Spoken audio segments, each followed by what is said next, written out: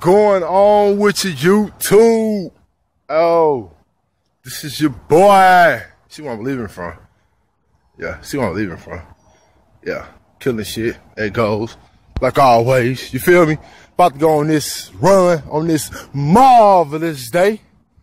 This marvelous day. Got the sun out. You feel me? About to go, about to do a mile or so. Somebody said, you do too much running, it's tear up your muscles. I said, well, I ain't no goddamn marathon runner. That is true though. Too much running will start cutting into your muscles. So just be mindful of your of your cardio that you're doing, basically when it comes to running. You know I mean? That's why a lot of bodybuilders they're really strict on their diet because it's light cardio. It's light cardio. Uh, I'm a type of bodybuilder, big guy that like to get outside and run.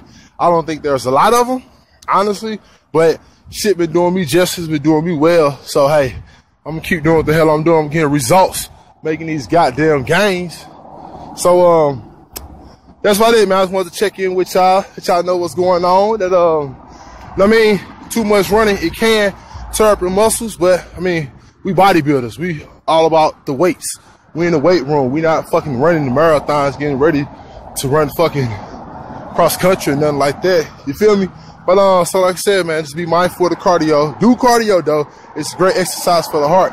So do cardio and everything. And uh, I'm gonna get up with y'all later. Peace.